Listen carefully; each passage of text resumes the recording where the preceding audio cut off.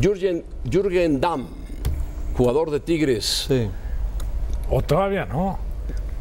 pagó una cantidad exageradísima, ¿no? En el draft fue transferido, transferido a a Tigres. ¿no? Se Pero- quedó con un pero- porcentaje Pachuca Igual de que la 20%, Cirilo, fue 20%. transferido al Morelia y ya regresó a Cholos, no se arregló. eso, ¿No se arregló? si, si Se no se arregla, Si no se arregla, regresa a Pachuca. entonces, Claro, en este momento no, tampoco Ahora, podemos decir O sea, que va a es de tener, Tigres. Cholos va a tener a Vilar y a... Cholos, Avilar y a Saucedo. ¿Y a Saucedo? a los dos. Ahora, la Sí, FIFA hombre. señala que todo jugador, ¿Qué problema bueno, va a tener? la FIFA señala que todo jugador debe recibir el 10%. Un 10%. De la 10% de la transacción, transacción. Si ve- vendieron el 80% de los derechos a Tigres, habrá pagado 8 millones de dólares. Sí, Entonces, sí, requiere el 10% de los 8 Ahora hay millones de clubes- dólares. hay clubes que serían que- 800 el mil dólares. 80 porque más o estaba menos. tasando en 10. Pues se supone que sí. 10, eso es lo que 11 hicieron. más o menos. Pero hay unos clubes no que había ma- otra oferta. El Pachuca se similar. queda, no, se queda con el 20 si lo venden al extranjero.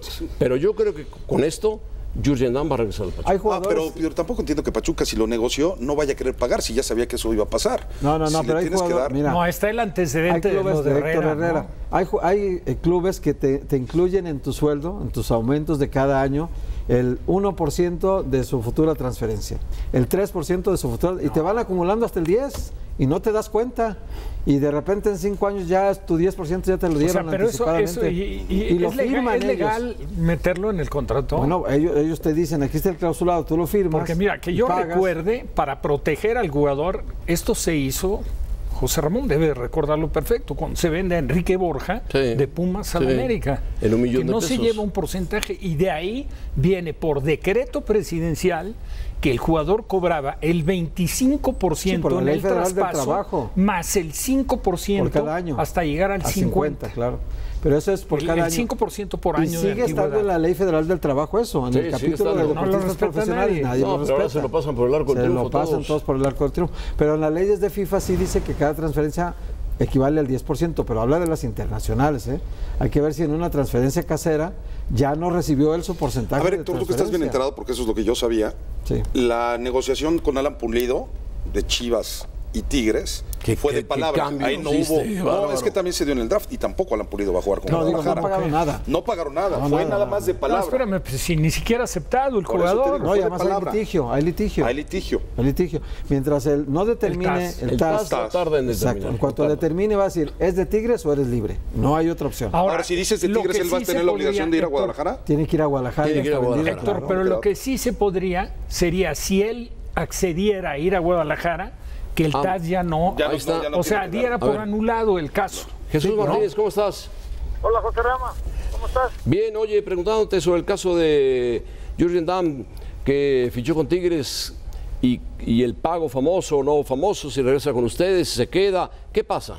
No, no, no, se va a resolver como, como todas las negociaciones, José Rama. ¿eh? A veces dicen cifras que no son reales Sí, ¿eh? y van también dentro de esas eh, negociaciones van cambio de jugadores. ¿verdad? Entonces lo que estamos este, viendo con, con Yuyen, con su representante, ¿eh? y no creo que vaya a haber problema como nunca lo ha habido con ningún jugador. Siempre se va a llegar a un acuerdo satisfactorio de ambas partes y, y el compromiso es de que pues, esté con Tigres como habíamos quedado, ¿verdad? Y así va a ser, mi querido José Ra. Ahora, si ustedes se lo, claro. se lo venden a, a, a Tigres en X cantidad, por decir 800 pesos, ustedes tienen Sí. que pagarle el 10% a Jurgen Damm de la transferencia y se quedan con el 20% si se vende a Europa. Eh, Exactamente así es. Nos quedamos sobre con el 20 si hay una evaluación arriba de lo que se vendió el jugador, pero no se vendió eh, todo en efectivo, o sea, no Ah, fue de, de contado, sino que también hubo jugadores de promedio. ¿Me entiendes? Sí, y, al jugador, entonces, ¿qué le toca? El jugador le toca la parte correspondiente de lo que es eh, la parte que pagan en, efectivo el, el- el club y la otra es una negociación. ¿Ah? La parte, o sea que más o menos en cifras, eh, danos una cifra, ¿qué le tocaría a Dan por pasar a Tigres? No, pues no te podría dar la cifra porque tú bien sabes que no, no doy cifra, pero es una cifra considerable. Bueno, considerable. O sea, ese- ustedes respetarían al futbolista por encima de todo. Sí, como siempre ha sido. Como Si siempre al ha sido jugador, a ver, Jesús, si al jugador lo vendieron en, 800 mil- en 8 millones de dólares, ¿le darían 800 mil dólares? O- o- ojalá. Ah, y no ojalá. Entonces lo vendieron- lo vendieron abajo. o- pues claro que sí, es lo que Ah, te digo, que a veces dicen bueno. cifras que son completamente irreales. Sí. Tú lo- ¿Entiendes? O sea, ponte que lo hayan vendido en 5 o 6, le tocarían le da, 500 mil. Se, le- se le da sus 4 o 5 millones de pesos. Ah, perfecto, muy bien. Está perfecto. ¿Qué más? ¿eh? Nada más, más armando los equipos, arma- armando los equipos acá, Jesús en León, estamos acá en Pachuca y, y tristes porque Talleres de Córdoba perdió el invicto la semana pasada, contentos por el Oviedo, ¿verdad? y también armando, armando Zacatecas, ¿eh? para que Ispien tenga un equipo de primera división el próximo año, si Dios quiere. El Oviedo, el Oviedo está ya en segunda división. ¿Tú quieres subir a la primera división? El Zacatecas quiere subir. Ah, el Zacatecas. Mineros- el Mineros quiere subir para que lo, lo transmita Ispien. Bueno, ah, hombre, a ver, sí, sí nos gustaría, pero a ver si es cierto, ¿eh? Bueno, bueno, pues, hay que seguir Oye, armando. y- Eh, pero está- está bien. la casa por la ventana porque está reforzando muy duro al, al Zacatecas. Ah, bueno, y si sube el Oviedo también lo transmitimos si quieres. El problema es que sube a la primera división y ahí pasa a otro lado, ¿eh? Pero bueno, ¿van a reforzar al Oviedo o no lo van a reforzar? No, eso, eso lo ve Arturo, eso lo ve Arturo allá. Pero sí lo van a reforzar porque ya, ya subió el rival que es el Sporting de Gijón. Yo creo que sí, Raúl. Este, la verdad, Arturo ha hecho una gran labor junto con Joaquín y junto con Sergio Agea. Y yo creo que le va a meter dinero a mi compañe. ¿Eh? Oye Jesús, ¿cómo estás Ángel, García Toraño? Nada más para preguntarte sobre lo que ha pasado con Miguel Herrera, los famosos tweets, la eliminación de México en la Copa América y si tú consideras que puede pender de un hilo la continuidad del técnico nacional. No, en lo absoluto, tiene todo el apoyo Miguel.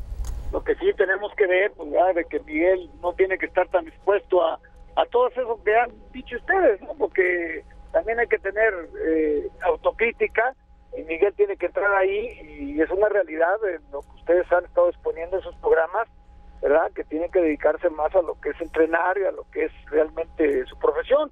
Miguel es un gran entrenador, un gran motivador, toda la gente está contenta con él, por lo que he visto de mis jugadores, tanto del León como del Pachuca, ¿verdad? y realmente vamos a apoyar para que tenga una continuidad, porque ya es necesario tener una continuidad de, eh, porque los últimos técnicos ustedes han visto que, que, que no ha sido así, ¿no? Entonces es muy triste que no haya una continuidad en el técnico de la selección nacional. Oye Jesús, una pregunta, si quieres contestarla bien adelante y si no, no hay problema. Ahora que se vaya Blatter, ¿le vas a quitar pabellón Blatter? En lo absoluto, José Ra. ¿Lo vas a Oye, mantener? Oye, no quité el de Gimnasio Azteca. ¿Cómo Ah, bueno, a bueno, bueno, bueno. ¿Cómo crees que voy a quitar el de Blatter? Pero ahí te trataron muy mal, Blatter te ha tratado bien. Sí, sí, Blatter, la verdad, mira. Bueno. hay que, hay que, hay que reconocer que siempre tuvimos una gran relación. Digo, así es. Esta situación es muy penosa. No estamos de acuerdo tampoco en ese tipo de corrupciones, pero tampoco vamos a quitar un nombre cuando ya se le ha dado a ese pabellón que tú acabas de conocer, que lo Sí, conociste sí, también, sí, sí. y que es un hombre que nos dio el, el Salón de la Fama para, para México. ¿no? Ahora, y tuvo muchas atenciones junto a- a- al grupo, José Ra. Jesús, ¿tú te esperabas tanta corrupción en la FIFA? Tanta, pero tanta corrupción en la FIFA. Pero Lo que falta. José Ra, pues, lo sabía, Más lo, más muchas lo que cosas. falta, ¿eh? Se sabían muchas cosas. Mira ahora lo de Catania, lo que me estaban informando. Sí, sí, sí, que compró, ¿Cuánta compró partidos, sí. Afortunadamente, Joserra, lo que hemos dicho y lo que han dicho ustedes también, que en México, afortunadamente, no se da eso. ¿verdad? Ustedes están viendo cómo están los, los, los campeonatos, que cada campeonato eh, se lo lleva diferentes equipos, están peleando siempre muchos equipos el título, y eso hay que valorarlo en México, ¿no? O sea, no sé, hace veintitantos años, ¿ah? pero de 20 años que estoy yo en el fútbol, pues la verdad es una transparencia en la cuestión de todo lo que es deportivo, ¿eh?